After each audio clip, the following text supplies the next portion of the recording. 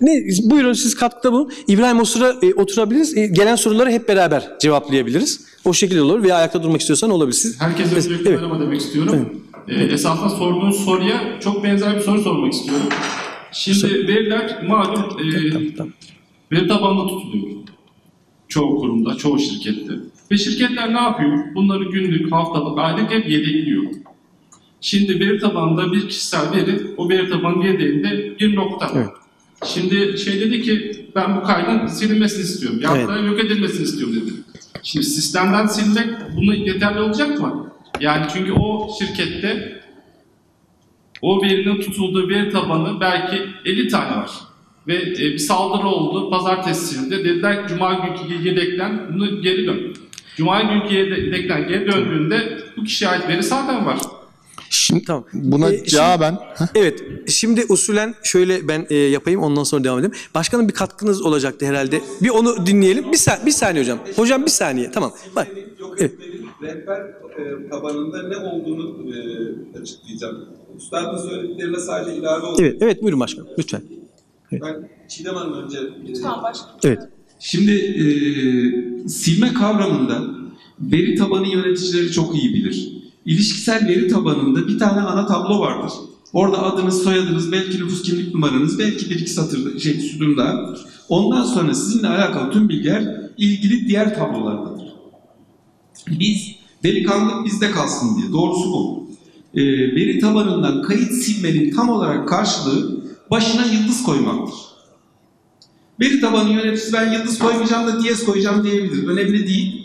Ama ilgili kullanıcı dediğimiz işte insan kaynaklarındaki, muhasebe departmanındaki, çağrı merkezindeki insanlar istedikleri kadar sorgu yapsınlar.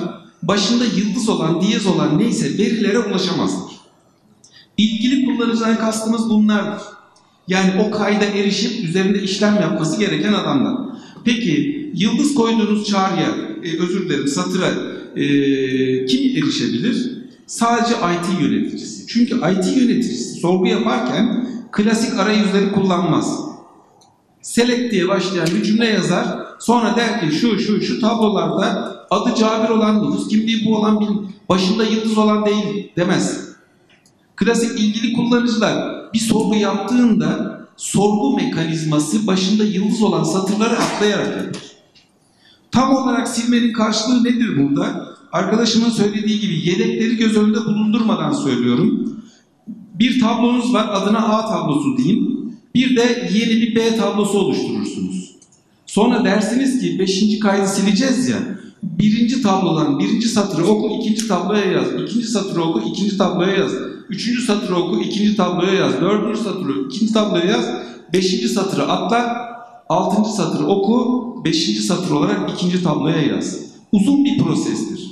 Sonunda da birinci tabloyu öldür, ikinci tabloyu birinci tabloya yap dersiniz. Kayıt imha edilmiş olur. Artık buna veri tabanı yöneticisi dahil erişemez.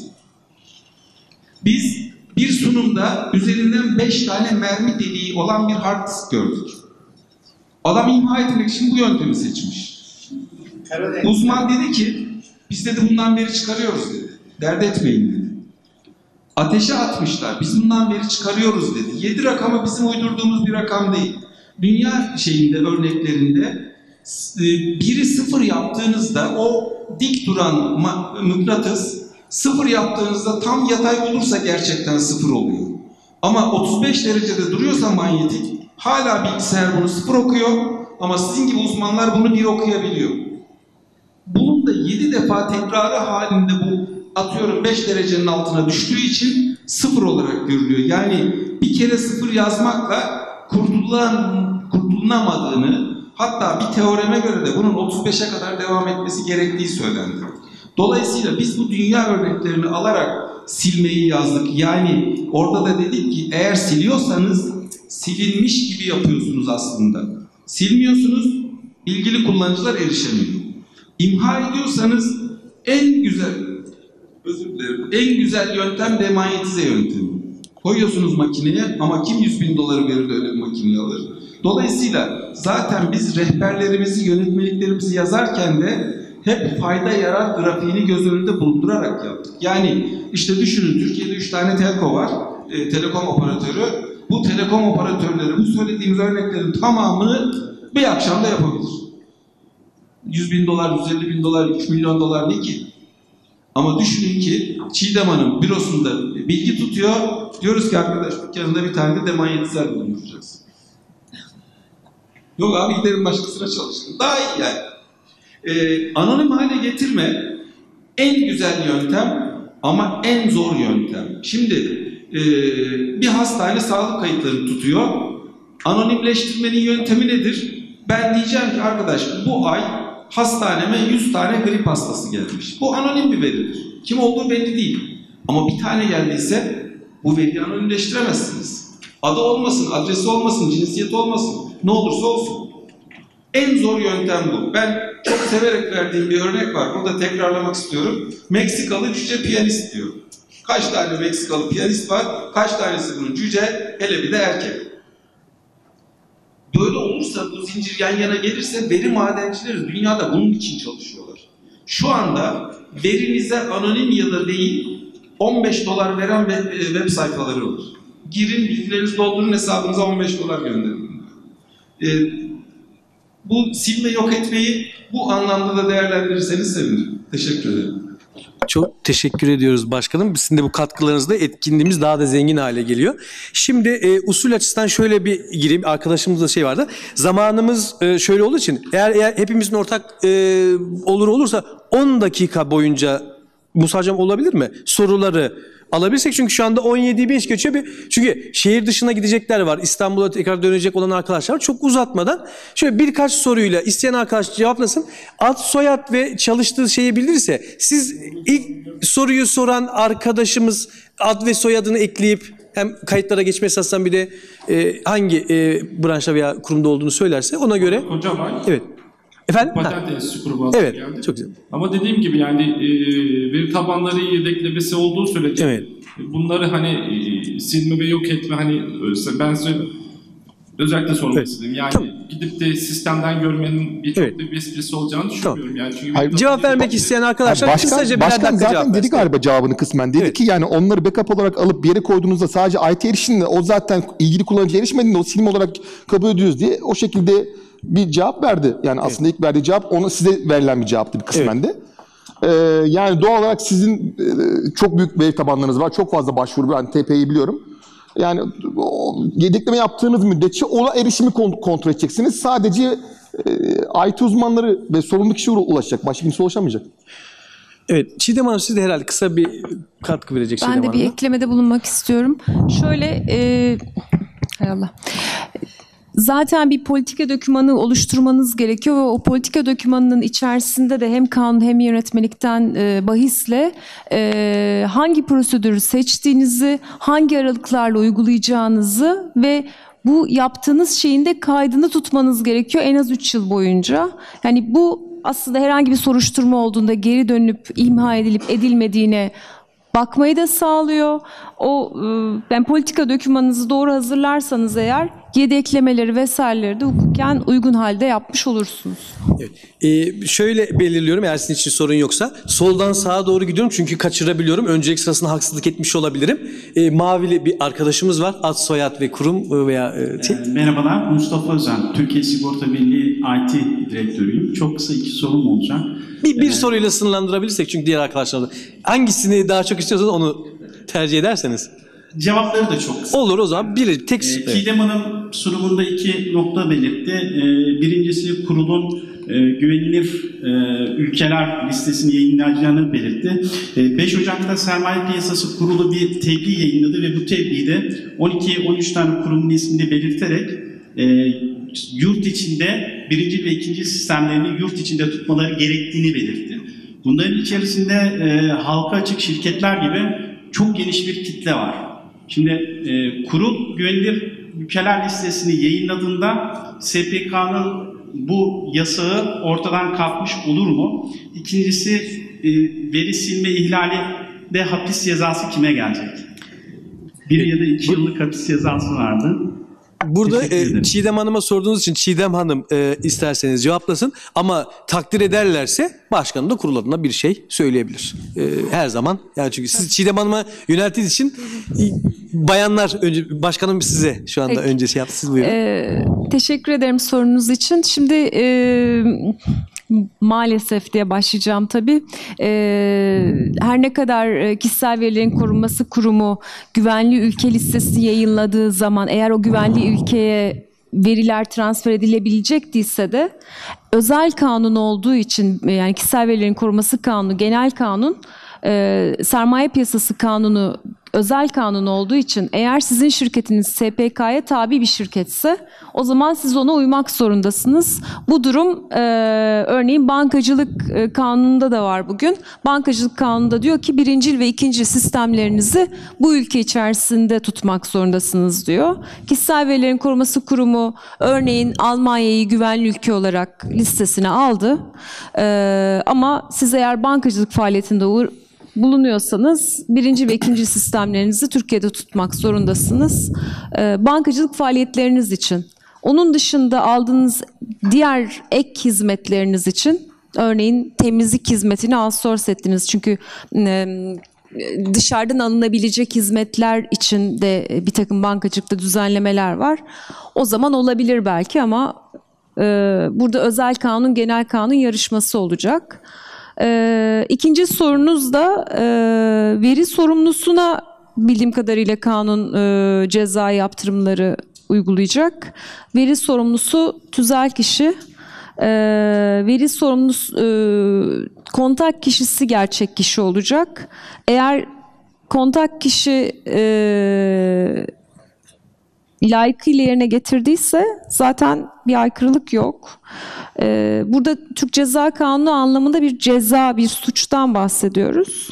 O zaman da o suçu işleyen kişiye gidecek. Eğer şirket bilerek, isteyerek bu kanuna uygun hareket etmediyse savcı kimi açarsa soruşturmayı o ama şirketin yönetim kurulu başkanı, yönetim kurulu, genel müdürü gibi üst yönetiminden bahsediyoruz. Aslında e, DPO denen yani e, Data Privacy Officer şirket tarafından atanan veri koruması e, uzmanı kişi ya da yöneticisi kişi e, değil esasında burada cezai sorumluluğun sahibi.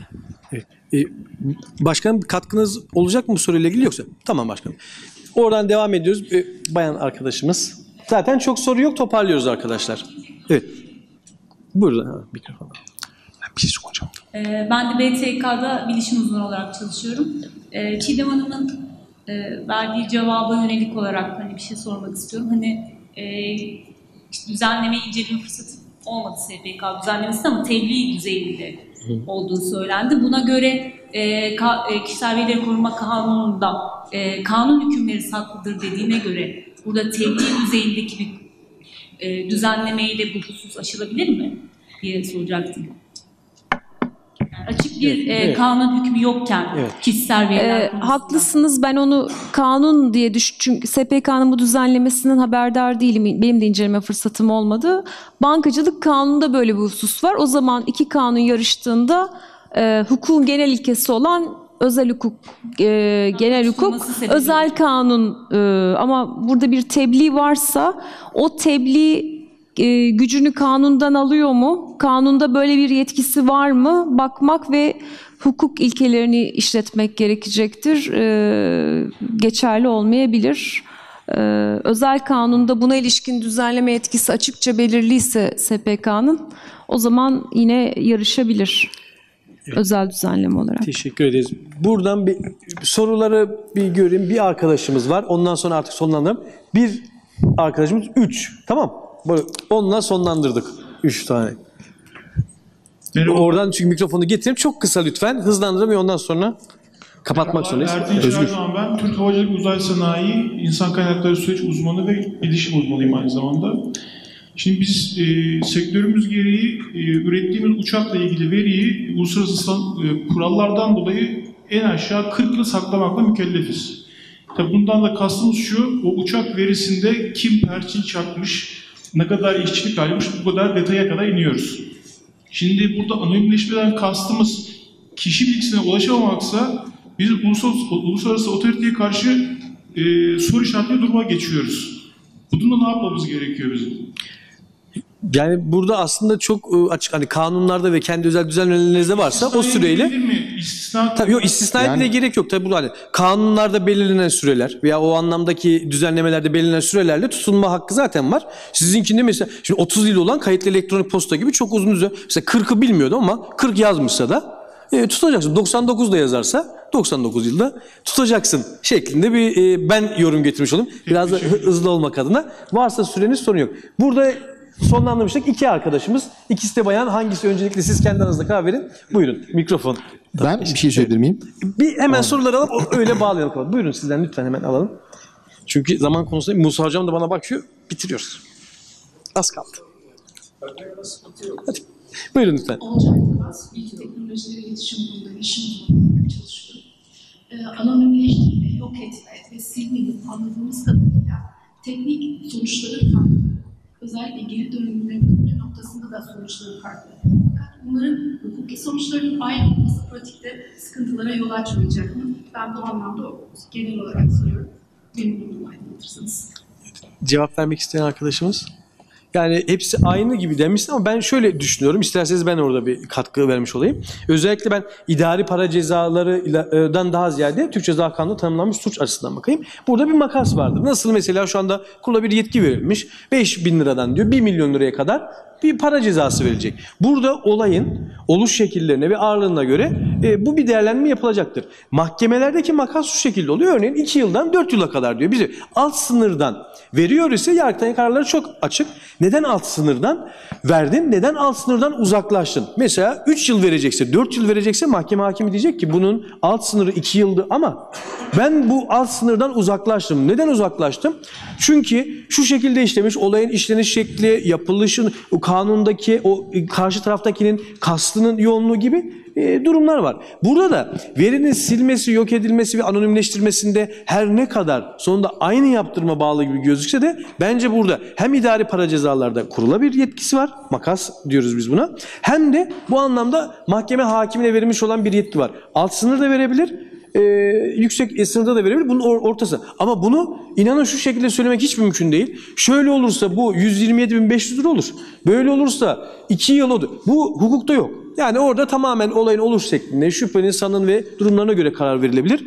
E, ben bu şekilde e, cevaplayabildim. Yani aynı gibi gözüküyor sonucu ama aslında aynı bir makas var. O makas arasında karar verilecek diye toparlamış olayım. Bir izninizle Evet, buyurun hocam. bu çatışan düzenlemelerle ilgili bir şey söylemek istiyorum. Şimdi mesela rekabet uygulamasında benzer sıkıntılar var. Avukatların, e, mühendislerin, e, hekimlerin tarifeleri vardır. Belli tarifelere göre e, ücret belirlerler. Rekabet Kurumu'nun bunların tamamıyla ilgili e, kararları var ve bunların aslında rekabeti ihlal eder mahiyette olduğunu tespit ettiğini görüyoruz kararlarında ve sonra diyor ki ancak bunlar bir kanunla düzen ya da bir kanuna dayanılarak düzenlenmiştir. Bu nedenle işte Türkiye Büyük Millet Meclisi'ne öneride bulunulmasına karar verilmiştir. Şimdi kişisel verilerin kurulma, e, korunması ile ilgili düzenlemeler, yeni düzenlemeler ve pek çok yerde bununla bağdaşmayan düzenlemelere rastlayacağız. Burada belki şey örneğinde, SPK örneğinde benim aklıma gelen seçenek şu. Öner, burada olmasını zorunlu kılan bir alt norm olsa da bunun aksine bir düzenleme var diye bir tavsiye niteliğindeki düzenlemeyi emredici terakki etmeyip siz buraya gidebilirsiniz ama SPK burada kalmanızı size bir tebliğ ile de öneriyor olsa siz buna riayet etmek durumundasınız. Zannediyorum zaman içinde bu çatışmalar olmaya devam edecek. Mesela benim aklıma gelen bir başka şey üremeye yardımcı tedavi yöntemleri yönetmeliği diye bir yönetmelik var. Tüp bebek yönetmeliği. Orada da çok uzun bir süre verilerin saklanması gerektiğine dair hüküm var. Hem de çok son derece önemli sağlık verileri. Belli ki bunların tamamı zaman içinde gözden geçecek ama burada emredici normun hangisi olduğu, hangi normun e, normlar hiyerarşisinde daha üstte olduğu, kanun mu olduğu, tebliğ mi olduğuna bakmak lazım. Ondan sonra da eğer alternatifler varsa asıl düzenlemeye yetkili özel kurumun yetkisine e, uygun şekilde hareket etmekte fayda var diye düşünüyorum. Son soruyu arkadaşımıza vermiştik. İyi orada. Kendisine artık yabancı değilsin. Dışarıda özelse bayan arkadaşımıza verip ondan sonra kapanışımızı çünkü. Merhaba, ben PYA Kurulu'ndan avukat Şevdan Çamcan. Ee, Kanunda açıkça belirtilmiş veri güvenliğine ilişkin yükümlülüklerden hem veri sorumlusu ve veri işleyen müştereken sorumlu ama e, mütesassıfın sorumlu. Ancak e, diğer yükümlülükler, örneğin açık rıza ya da aydınlatma yükümlülüğü gibi yükümlülükler konusunda tam açık bir ibare yok. Yani veri sorumlusu işlemesi için verileri veri işlerine aktardığında veri işleyen o ilgili kişilerden gerçekten açık rıza alınmış mı ya da aydınlatma yükümlülüğü yapılmış mı? Bundan sorumlu tutulmalı mı? Çünkü veri sorumlusu ve veri işleyen arasında önümüze sözleşmeler geliyor ve veri sorumlusu e, hepsinden veri işleyeni de sorumlu tutmak istiyor. Daha geniş yorumluyor. Ben bu konuda e, görüşünüzü almak istiyorum.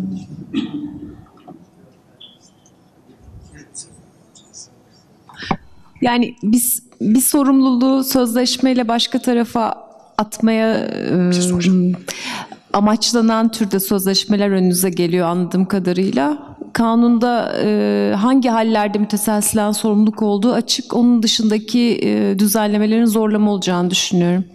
Teşekkür ediyoruz. Kapanış e, için e, bir sunuş e, yapalım. Güzel yoğun tempo ve katılımla devam etti. Evet, bence evet. de. Aslında hani e, bunun devamını yapabilsek keşke, Evet. daha fazla vaktimiz olabilse keşke ama Evet. sorular olursa vereceğiniz bir mail adresi ya da başka bir şey var mı?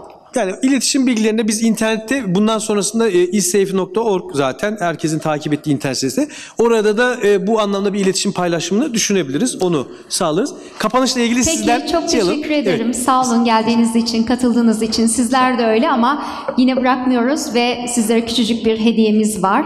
Hediyemizi vermek üzere eee, Kişisel Verileri Koruma Kurulu ikinci başkanı efendim buyurun sahneye alacağım sizi Cabir Bilirgen. Cabir Hoş geldiniz. Cabir Bilirgen. Tekrar buyurun.